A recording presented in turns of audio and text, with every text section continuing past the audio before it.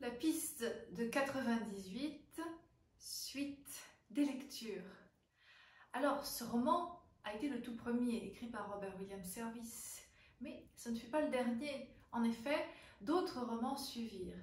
Tout d'abord, après le succès de la piste, Robert Service retourne à la poésie et va publier plusieurs recueils, dont notamment Rims of a Rolling Stone, qui est directement inspiré de sa propre épopée à travers la Mackenzie. Mais c'est une autre histoire. Des années plus tard, dans les années 30, il est quand même très influencé par l'avancée, les progrès du cinéma et aussi des intrigues policières. Sa mère était très friande d'ailleurs de thriller. Et donc ça va peut-être le pousser à écrire autre aspect, la poésie après la Première Guerre mondiale change un petit peu de, de sentiment, d'expressivité. et il a été assez traumatisé par son expérience personnelle sur le front de la Somme. Donc il va mettre de côté les rimes pour se consacrer à l'écriture de romans et plusieurs romans vont suivre. Donc je vous montre quelques couvertures. Ici, ici, The House of Fair. Donc, à chaque fois, ce sont des romans qui sont inspirés de sa vie, de son expérience et, avec beaucoup d'éléments en fait autobiographiques. Tout comme on peut le constater dans la piste de 98, ces romans reflètent sa vie. Ici, The House of Fair représente sa vie en France et cette fameuse maison de la peur est inspirée en fait de sa maison de Bretagne. Ensuite, euh, The Roughneck découle directement des mois qu'il aura passés à Tahiti euh, sous l'inspiration de Stevenson.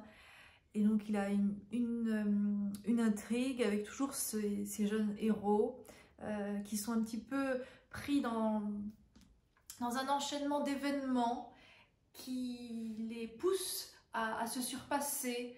Et ce sont souvent aussi des héros malheureux, malheureux en amour, malheureux dans leurs aventures, euh, injustement accusés de diverses choses et qui doivent se défendre. Toujours voilà, des parias, des artistes. C'est c'est son credo, on pourrait dire. Euh, ensuite, autre roman, bien sûr, The Poisoned Paradise, directement inspiré de Monte Carlo et de l'univers des casinos qu'il découvre en 1920. Un univers fascinant, le monde du jeu, ce monde interlope, la faune qui, qui se presse autour des tables de jeu, les, arnaqueurs en tout genre, les demi-mondaines, directement inspiré donc du, Monaco des années 20 qu'il a bien connu puisqu'il y a séjourné pendant plusieurs hivers avant de euh, hiverner aussi à Nice. Enfin, un autre roman, The Master of the Microbes. Là, on, délaisse un petit peu la, veine aventurière pour se tourner vers quelque chose d'un peu plus fantastique, euh, avant-gardiste, parce que c'est une histoire en fait de contamination de virus, un savant fou à Paris, voilà, qui veut anéantir le monde avec euh, un virus et on pourrait faire un rapprochement avec euh, ce qui se passe en ce moment pendant le confinement. Et enfin, un dernier livre que je voudrais citer est Why Not Grow Young, qui est en fait un roman de, de santé et de bien-être. Robert Service, à l'âge de 50 ans, souffre du cœur, il n'est pas très en forme. Pourtant, il est athlétique, il marche beaucoup, il nage. Et son médecin va lui prescrire des cures à Roya. Roya qui est le, temple voilà, pour les curistes et, ce monde un petit peu aussi littéraire. Et il va justement s'inspirer de tous ces conseils d'hygiène, euh, conseils alimentaires, hygiène de vie, pour en écrire lui-même son propre livre. Et c'est un, livre qui est vraiment teinté de beaucoup d'humour à travers toutes les pages et qui est très avant-gardiste puisqu'il a été publié dans les années 30. Maintenant, revenons à nos pionniers, à nos chercheurs d'or. Ce sera peut-être pour une autre, euh, une autre lecture. Retournons sur la piste de 98.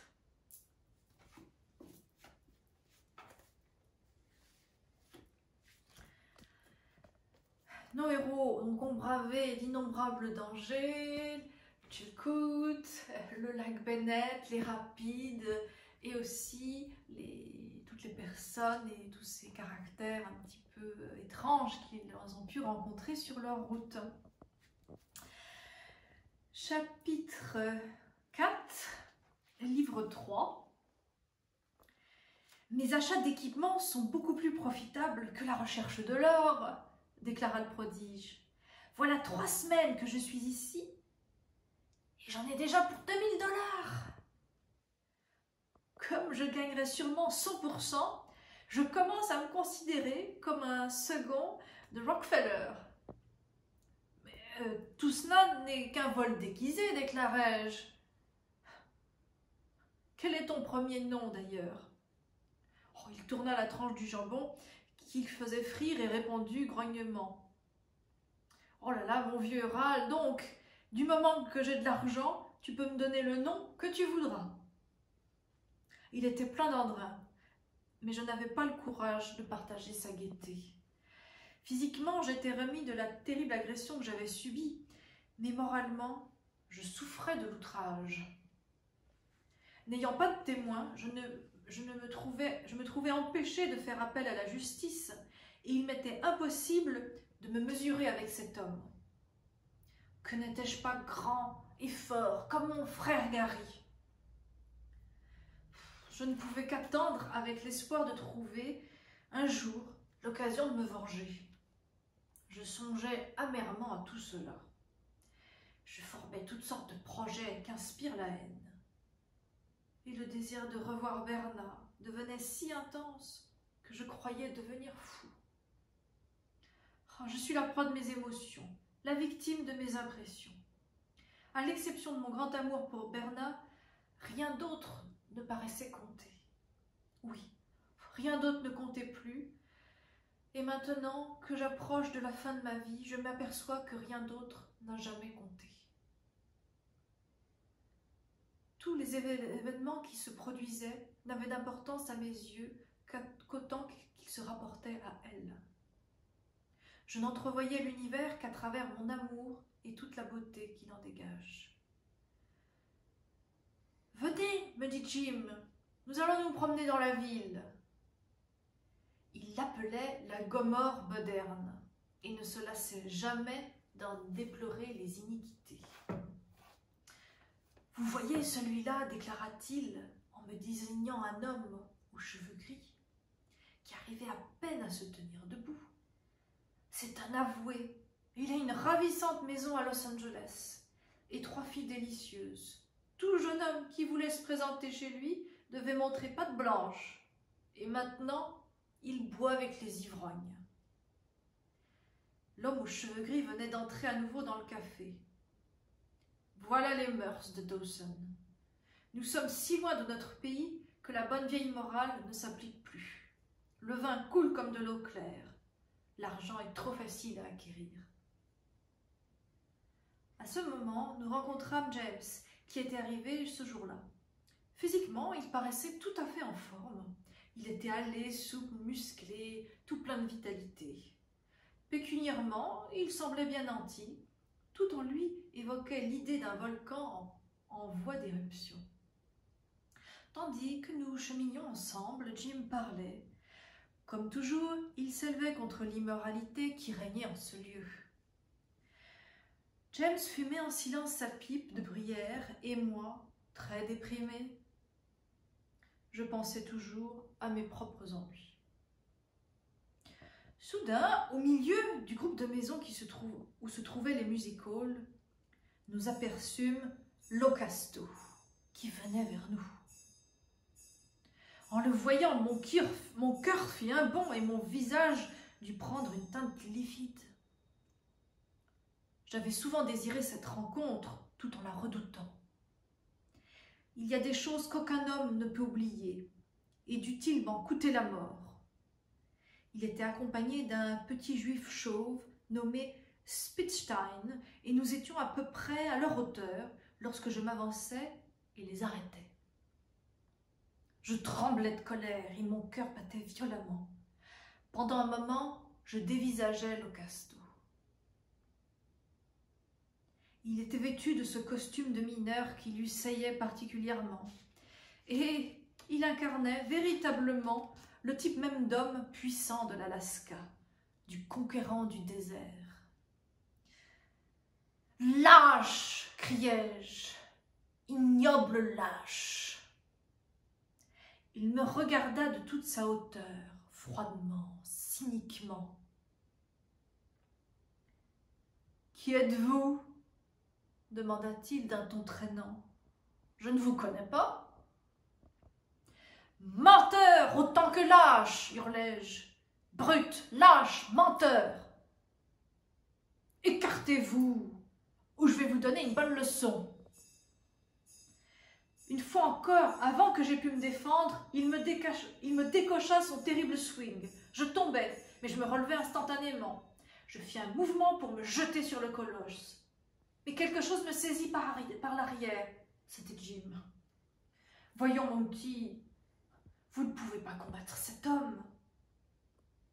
Spitzstein nous regardait bien curieusement. Avec une rapidité déconcertante, la foule s'était déjà amassée dans l'espoir d'assister à une bataille. Locasto la dominait de sa haute stature. Il y eut un silence angoissant. Puis, au moment le plus critique, James intervient. Il s'avança vers Locasto. Pourquoi ne vous attaquez-vous pas à quelqu'un de votre taille demanda-t-il. Il parlait avec calme, d'une voix contenue. Locasto lui jeta un regard de surprise en le toisant de pied à la tête. Vous êtes une brute, reprit James. Le visage de Jack Locasto devint sombre et terrible. Dites donc l'anglais. De quoi vous mêlez-vous? Ce n'est pas mon affaire, répondit l'autre gaiement. Je voyais s'éveiller en lui l'amour de la lutte. Mais bientôt, elle va l'être. Prompt comme l'éclair, il souffleta le casto. Consentirez-vous maintenant à vous battre contre moi Poltron? L'homme de l'Alaska parut vouloir se jeter sur lui, les poings serrés, les lèvres entr'ouvertes. Il se baissa à demi comme pour bondir. Et soudain il se redressa. Fort bien, répondit-il tranquillement. Spinstein, pouvons-nous aller dans la salle de théâtre? Je pense que oui, nous ferons lever les bancs. Alors, dites à tous ces gens de venir. Nous allons leur donner une représentation gratuite. Il devait déjà y avoir au moins 500 hommes. Un grand pugiliste australien fut aussi désigné comme arbitre. Quelqu'un proposa d'aller chercher des gants de boxe, mais Locasto refusa. Non, je veux marquer ce fils de chien de façon que sa propre mère ne puisse pas le reconnaître. Une fois déshabillé, James parut être de beaucoup en état d'infériorité, non seulement parce que sa taille était moins élevée, et, et encore parce qu'il semblait moins robuste. Pourtant, il avait un magnifique corps de lutteur, bien campé, aux membres fermes, à la silhouette souple. Le gasto paraissait presque même trop massif, ses muscles en saillie et les veines de son front tendues comme des cordes. Sa poitrine était large, ses jambes puissantes. Jamais comme combat n'avait été accueilli avec autant de joie. À grands cris. Tous se battaient pour avoir une place. À l'extérieur, d'autres personnes réclamaient à grands cris leur droit d'entrée. Ils grimpaient sur la scène, dans les loges, elles se pendaient aux galeries et elles devaient être maintenant plus de mille. Quand les deux hommes avancèrent, on aurait cru voir un souple athlète grec et un vigoureux gladiateur romain. Trois contre un, Pour Locasto cria quelqu'un. Puis un grand silence se fit. Le combat commençait. Locasto se jeta comme un tigre sur son adversaire. Cette lutte était trop sérieuse pour qu'ils perdissent leur temps en préliminaire. Il frappait de droite et de gauche, des coups qui eussent assommé un bœuf. Mais James se montrait agile. Deux fois il se baissa à temps pour éviter un choc furieux et bondit hors de portée, de sorte que le poing du gros homme s'égara dans le vide. Son effort avait été si violent qu'il perdit presque l'équilibre, mais Locasto se redressa vivement. Calme, James attendait l'attaque suivante. Le visage de Locasto prit une sinistre expression. Il poussa un affreux juron et se jeta encore une fois sur son adversaire. Je crus que mon champion allait succomber, mais avec une habileté merveilleuse, il évita le coup, se baissa et, et fit un bond de côté. Des sarcasmes commencèrent à monter de la foule. Je prends le petit à égalité cria une voix. Le casto jeta un regard sinistre autour de lui. Il était habitué à dominer ses hommes, et l'ironie l'exaspérait. Il renouvela ses assauts sans résultat, et son antagonisme continua à lui sourire du centre de l'arène. Le round se termina sans qu'un seul de ses coups eût atteint James. Un nouveau concert de moqueries s'éleva. Je me trouvais à l'intérieur du ring. Au début, j'avais eu grand peur pour lui, qui avait pris ma défense, mais maintenant, je le regardais avec beaucoup moins d'anxiété. La lutte recommença. Locasto, que son court repos semblait avoir régénéré, bondit. Ses mouvements semblèrent mieux se coordonner. Qui est-il? commença-t-on à murmurer autour de moi en désignant James.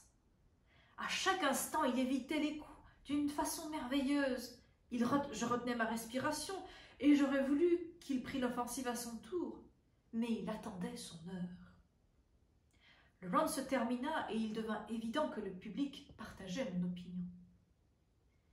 Pourquoi n'attaque-t-il pas? demanda quelqu'un. Donnez-lui le temps, répondit une autre voix. Il fait du bon travail. Locasto s'avança pour le troisième round. Il était calme et farouchement déterminé. Il paraissait évident qu'il était décidé à forcer son adversaire à combattre. Mais il agissait prudemment et il chercha à entraîner son ennemi dans un coin. Une collision était inévitable et mon ami paraissait ne pas pouvoir échapper à l'homme. Locasto se précipita sur James et allongea violemment son bras droit replié. Mais une fois de plus, son adversaire se baissa et le poing du mineur effleura simplement ses cheveux. Puis, les deux hommes se saisirent et je pensais que l'heure dernière de James était venue, car je vis les yeux de Locasto s'emplir d'une joie féroce. Il tenait l'autre dans ses bras de géant et il allait l'écraser comme une coquille de noix mais euh, avec une foudroyante rapidité. L'anglais lui immobilisa les deux coudes, il le tint ainsi un instant, puis lâcha brusquement ses bras, le prit à la ceinture, lui fit perdre l'équilibre, et avant qu'il ait pu résister, le jeta violemment par terre. Time cria l'artiste, l'arbitre. Tout ça avait eu lieu si rapidement qu'on avait pu à peine se rendre compte. Pourtant, une immense acclamation monta de la salle. Deux contre un Sur le petit cria la même voix. Le casto se releva. Il était à la fois honteux et furieux. Un nouveau round reprit. Avec une agilité de panthère, James se précipita, précipita au centre du ring. Il rencontra Locasto à mi-chemin et parut maintenant avoir l'intention de le forcer à combattre. J'épiais ses moindres mouvements. Il avait recommencé à glisser, avançant, reculant, frappant l'air de ce qui stupéfiait et déconcertait son adversaire. Pourtant, il ne le frappait pas.